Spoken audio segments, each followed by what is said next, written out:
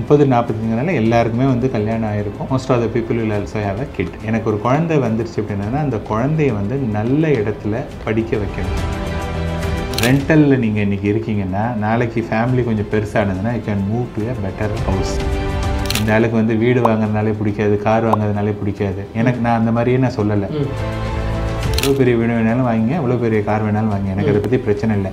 இது இல்லாமல் நீங்கள் வந்து வீடு கார் வாங்கினீங்கன்னா ஆறாயிரத்தி எண்ணூறுரூவா வேலை பார்க்குறவன் இன்னைக்கு வந்து ஐம்பதாயிரரூவா சம்பாதிச்சான்னா இன்னும் பத்து வருஷத்தில் அவனுடைய சம்பளம் வந்து கண்டிப்பாக ஒன்றரை லட்ச ரூபாலேருந்து ரெண்டு லட்ச ரூபா ஆகிடும் மினிமம் வேற இங்கே வந்து பார்த்தீங்கன்னா என்னை பொறுத்தவரையும் கோல்டுங்கிறது வந்து ஒரு கமாடிட்டி கமாடிட்டியுடைய க்ரோத் வந்து சஸ்டெயின்டு க்ரோத்தாக தான் இருக்குமே ஒழிய குழந்தையுடைய எஜுகேஷன் குழந்தையுடைய மேரேஜ் உங்களுடைய ரிட்டைர்மெண்ட் ஒரு கல்வி கொடுத்தீங்க அப்படின்னதாங்கன்னா அந்த குழந்தை வந்து நாளைக்கு பத்து வீடு கூட வாங்குறதுக்கான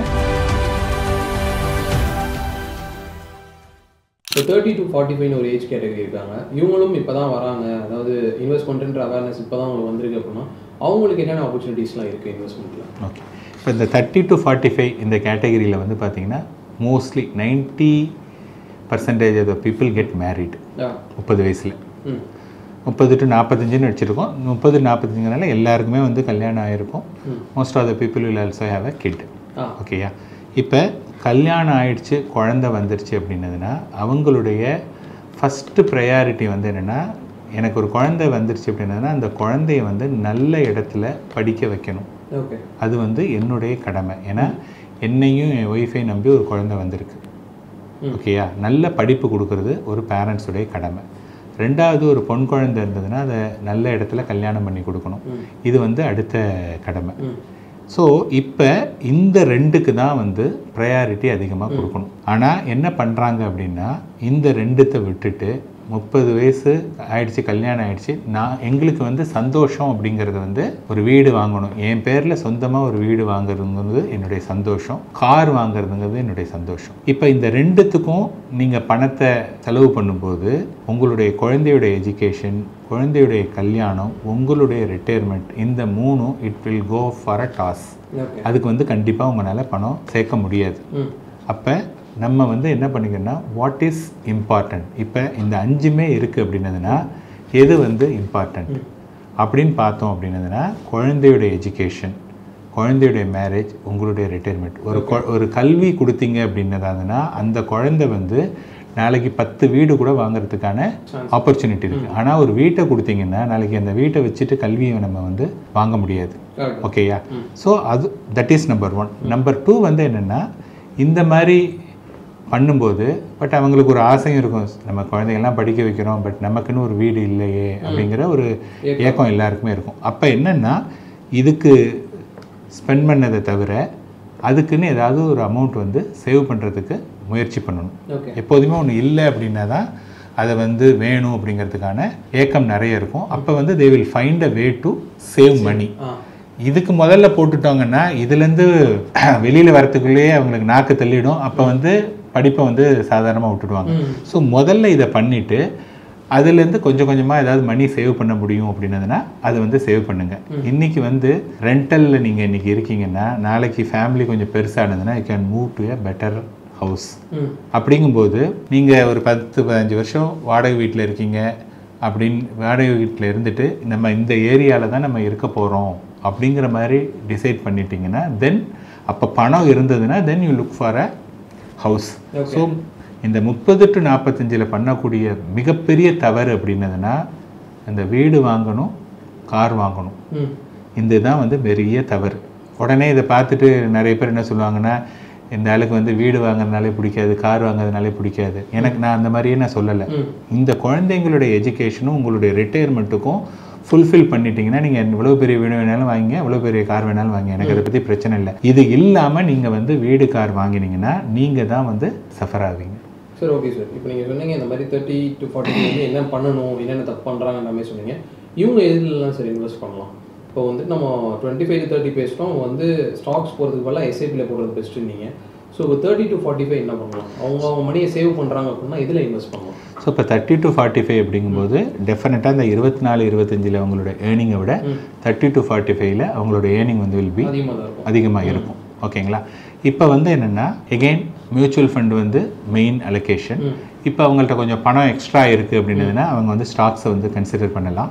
இப்போ வந்து பொன் குழந்தை இருக்குது அப்படின்னதா இருந்ததுன்னா இப்போ நான் வந்து என்ன சொல்லுவேன்னா நீங்கள் தங்கமாக வாங்கி சேர்க்கறத விட மியூச்சுவல் ஃபண்டில் சேர்த்தீங்கன்னா அதிகமாக தங்கம் பண்ணலாம் அப்படிங்கிறது என்னுடைய வியூ பட் வந்து என்னுடைய வியூ வந்து நான் எமோஷ்னல் வியூ பட் மக்களும் வந்து பார்த்தீங்கன்னா they are more of emotional so அப்போ வந்து என்னென்னா அவங்களுக்கு வந்து இதெல்லாம் பண்ணியாச்சு சார். நீங்கள் சொன்னீங்க மியூச்சுவல் ஃபண்டில் போட சொன்னீங்க மியூச்சுவல் ஃபண்டில் போட்டேன். கொஞ்சம் ஸ்டாக்கும் நான் வாங்கிட்டேன். எனக்கு வந்து சில நகையெல்லாம் நான் வாங்கி நான் வந்து போட்டுக்கணும்னு எனக்கு ஆசையாக இருக்குது இதில் எனக்கு ரெண்டு பெனிஃபிட் இருக்குது ஒன்று நான் வந்து இன்றைக்கி போட்டுக்கிறேன். நாளைக்கு வந்து என்னுடைய பொண்ணுக்கும் அதை நான் கொடுத்துருவேன். அப்படின்னு சொன்னதுன்னா அவங்க வந்து தங்கம் வாங்கிக்கலாம். ஓகேயா ஆனால் தங்கத் தங்கம் வந்து இன்னைக்கு இருக்கக்கூடிய விலையை விட நாளைக்கு பயங்கரமாக ஏறிடும். அப்படின்னு சொல்லிட்டு தங்கத்தில் முதலீடு பண்ண வேண்டாம். இப்போ இதுக்கு சொன்னீங்கன்னா நிறைய பேர் என்ன சொல்லுவாங்க சார் இன்னைக்கு ஆறாயிரத்தி ஐநூறுரூவா ஆறாயிரத்தி எழுநூறுவா வைக்குது. தங்கம் வந்து நாளைக்கு எட்டாயிரம் போகும் பத்தாயிரம் போகும். போகும். சாரி இப்போ நம்ம வந்துட்டு ஒரு வீடியோ பேசியிருந்தோம் எமர்ஜென்சி ஃபண்டுக்கு தங்கத்தில் இன்வெஸ்ட் பண்ணி இன்னும் படம் வரும். அதுலேயே நிறைய பேர் சொன்னாங்கன்னா இன்னும் கொஞ்சம் நாள்ல பத்தாயிரம் போக போகுது. நீங்கள் என்ன பேசிட்டு இருக்கீங்க? அப்படின்னு தான் நிறைய பேர் கேட்டாங்க.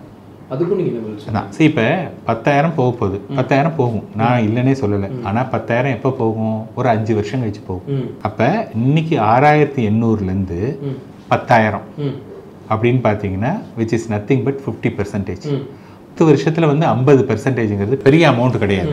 அப்போ இன்னைக்கு உங்களுடைய சம்பளம் இன்னைக்கு வந்து ஆறாயிரத்தி எண்ணூறுரூவா வேலை பார்க்குறவன் இன்னைக்கு வந்து ஐம்பதாயிரம் ரூபா சம்பாதிச்சான்னா இன்னும் பத்து வருஷத்தில் அவனுடைய சம்பளம் வந்து கண்டிப்பாக ஒன்றரை லட்ச ரூபாலேருந்து ரெண்டு லட்ச ரூபா ஆகிடும் மினிமம் வேற இங்கே வந்து பார்த்தீங்கன்னா உங்களுக்கு வந்து ஆறாயிரத்தி எண்ணூறுலேருந்து பத்தாயிரம் வெறும் ஐம்பது பெர்சன்டேஜ் தான் உங்களுக்கு ஏறுது. உங்களுடைய சேலரி நூறு நூற்றம்பது பெர்சன்டேஜ் ஏறுது. அதனால விலை என்ன பார்க்குறாங்கன்னா people are looking at only the price ஆனால் பத்தாயிரம் கண்டிப்பாக ஏறும். அதுக்கு உங்களுக்கு வந்து அதுக்கு மேலே பணம் இருக்கும்போது அது அது ஏறினதுனால என்ன பிரச்சனை? இப்போ பார்த்தீங்கன்னா இன்றைக்கி வந்து பால் லிட்டர் நாற்பது ரூபான்னா அன்றைக்கி வந்து நாலு ரூபாய் தான் விற்றுது அப்படின்னா நம்ம என்ன பண்ண முடியும்? அன்றைக்கி வந்து எவ்வளோ சம்பளம் இருந்தது? அன்றைக்கி அது வந்து ஜஸ்டிஃபைடு இன்றைக்கி இது ஜஸ்டிஃபைடு அதனால என்னை பொறுத்தவரையும் கோல்டுங்கிறது வந்து ஒரு கமாடிட்டி கமாடிட்டியுடைய growth வந்து சஸ்டெயின்டு growth-ஆ தான் இருக்குமே ஒழிய கண்ணாப்புனான்னு ஏறாது. பட் அட் டைம்ஸ் வந்து இப்போ இப்போ ஏறி இருக்கு இல்லையா? இப்போ ஒரு இருபது பெர்சன்டேஜ் ஏறி இருக்கு. ஏன் இருபது பெர்சன்டேஜ் ஏறிக்குன்னா அதுக்கு முன்னாடிலாம் பெருசாக ஏறல. கோவிடுக்கு அப்புறமா நான் ஒரு இன்னொரு வீடியோவில் சொல்லியிருந்தேன். கோவிடுக்கு முன்னாடி ஐயாயிரத்தி எழுநூறுபாயோ என்னமோ இருந்தது. இப்போ தான் வந்து ஆறாயிரத்தி எண்ணூறுரூவா அது வந்து ஒரு பெரிய இது கிடையாது. நாலு வருஷத்தில் வெறும் இருபத்தஞ்சி பெர்சன்டேஜ் தான் ஏறி இருக்கு. ஸோ நாலு வருஷத்தில் இருபத்தஞ்சி பெர்சன்டேஜுங்கிறது நார்மல் growth. ஓகே. சார் இப்போ நீங்கள் வந்துட்டு தேர்ட்டி டு ஃபார்ட்டி ஃபைவோட இன்வெஸ்ட்மெண்ட் ஆப்பர்ச்சுனிட்டி சொல்லவே சொல்லிட்டீங்க ஃபிஃப்டி ப்ளஸ் இருக்காங்களே சார். அவங்க இதெல்லாம் இன்வெஸ்ட் பண்ணலாம்? ஏன்னா பாண்ட்ஸ்னு ஒரு விஷயம் இருக்குது ஸோ அது உங்களுக்கு கரெக்டான ஒரு இன்வெஸ்ட்மெண்ட் ஆப்பர்ச்சுனிட்டியாக இருக்குமா? இப்போ வந்து என்னென்னா பாண்டுங்கிறது யாருக்கு அப்படின்னதுன்னா ஒருத்தர் வந்து ஏற்கனவே ஐ ஹாவ் மேட் மணி. நிறைய நான் பணம் பண்ணியாச்சு. I want to protect my money okay. Which is from இந்த ஃப்ளக்சுவேஷன்லாம் வந்து எனக்கு எனக்கு தூக்கம் வராது. ஐம்பது வயசு ஆயிடுச்சு. இன்றைக்கி வந்து பார்க்குறேன் மார்க்கெட் நல்லா இருக்குது நாளைக்கு மார்க்கெட் கீழே போச்சு. ஏதோ ஒரு ரீசன் கீழே போச்சுனதுன்னா என்னுடைய வேல்யூ கம்மியானதுன்னா எனக்கு தூக்கம் வராது. And I have made money அப்படிங்கும்போது அவங்க பாண்ட்லேயோ அல்லது மியூச்சுவல் ஃபண்ட்ஸ்லேயோ டெட் ஃபண்ட்ஸ் இருக்கு ஆர் ஃபிக்ஸட் டெபாசிட்லேயோ இந்த மாதிரியான ஒரு விஷயத்தில் வந்து it is more of a protection this is meant only for people who made money but நம்ம வந்து ப்ரிடாமினண்ட்டாக மீட் பண்ணுறது ஒரு middle class lower middle class அவங்கெல்லாம் வந்து they have not made money அந்த மாதிரி இருக்கிறவங்களுக்கு வந்து நீங்கள் போய் பாண்டில் பணத்தை போடுங்க அப்படிங்கிறது வந்து நாட் அ ஐடியா. அதே சமயத்தில் வந்து அவங்களுடைய ஷார்ட் டேர்முக்கு வந்து எனக்கு கொஞ்சம் டக்குன்னு ஏதாவது ஒன்று வேணும் அப்படின்னா அந்த நான் நம்ம லாஸ்ட் வீடியோவில் சொல்லியிருந்தோம் எமர்ஜென்சி ஃபண்டுக்கு வந்து அதுவே தேவையில்லை அப்படின்னு பட் அதுக்கு நிறைய கமெண்ட்டு அதெல்லாம் சொல்லிட்டு இருந்தாங்க ஸோ ஸ்டில் வந்து people want some some money வந்து ஷுட் பி சேஃப் எல்லாமே வந்து அக்ரெசிவ்லலாம் வேண்டாம் அப்படின்னு நினைக்கிறவங்க நிறைய பேர் இருக்காங்க. ஸோ அந்த மாதிரி இருந்ததுன்னா அவங்க ஒரு particular portion say for example ten percentage of the money or twenty percentage of the money that they can put it in a bond or fixed deposit அந்த மாதிரி. ஓகேங்களா? அதில் போட்டுட்டு இந்த ஐம்பது டு அறுபதில் இருக்காங்க இல்லையா? இந்த ஐம்பது டு அறுபதில் தான் வந்து they want to create more wealth for the next இப்போ ஐம்பது டு அறுபதுன்னா அறுபது வயசு ரிட்டையர் ஆகிடுவாங்க அறுபதுக்கு அப்புறமா மினிமம் இன்னைக்கு வந்து எயிட்டிலேருந்து எயிட்டி ஃபைவ் இயர்ஸ் வரையும் அவங்க உயிர் வாழறதுக்கான சான்சஸ் இருக்குது இப்போ அந்த ஐம்பது டு அறுபதில் எவ்வளோக்கு எவ்வளவு அவங்க வந்து இப்போ என்னாச்சுன்னா ஐம்பதில் மோரார்லெஸ் ரெடி பண்ணியாச்சு. பசங்களும் வந்து ஓரளவுக்கு கல்யாணம் கல்யாணம் அந்த மாதிரி ஸ்டேஜுக்கு வந்துடுவாங்க ஸோ இந்த பீரியடில் வந்து ஓகே எல்லாம் பண்ணியாச்சுட்டு போய் இப்போ போயிட்டு ஒரு ரெண்டு கோடி ரூபாய்க்கு வீடு வாங்காமல் இங்கே வந்து அதாவது பணம் இருந்தவங்க வாங்கலாம். பணம் இல்லாதவன் வந்து இந்த ஐம்பது டு அறுபது கூட பில் பண்ணாங்கன்னா இந்த மணி இருக்கு இல்லையா? அந்த ரிட்டையர்மெண்ட் கார்பஸ் அதை வச்சுட்டு அவங்க வந்து சப்போஸ் வீடே வாங்க முடியாமல் போயிடுச்சுன்னா கூட அந்த மணிலேருந்து he can pay rent forever அதுக்கான பாசிபிலிட்டி வந்து நிறையவே இருக்குது ஸோ இந்த ஃபிஃப்டி டு சிக்ஸ்டி வந்து இட்ஸ் அ கன்சாலிடேஷன் ஃபேஸ் இந்த கன்சாலிடேஷன் ஃபேஸில் வந்து எது ரொம்ப ரொம்ப இம்பார்ட்டண்ட்டோ அதில் வந்து நம்ம முதலீடு பண்ணிட்டு. பெரிய பெரிய செலவுகளை வந்து தவிர்க்கணும். நிறைய பேர் என்ன பண்ணுவாங்கன்னா அவங்க வந்து ரிட்டையர் ஆயாச்சு இவ்வளோ நாளாக நான் வாங்கலை இன்னைக்கு வந்து ஒரு கோடி ரூபாய் வந்துருச்சு நான் இன்னைக்கு வந்து எப்படியாவது ஒரு வீட்டை வாங்கிடணும் அப்படின்னு சொல்லிட்டு அங்கே வாங்கினாங்க அப்படின்னதுன்னா அவங்களுக்கு வந்து கேஷ் ஃப்ளோ ஃபார் மந்த்லி எக்ஸ்பென்சஸே ரொம்ப கம்மியாக இருக்கும். ஓகேங்களா?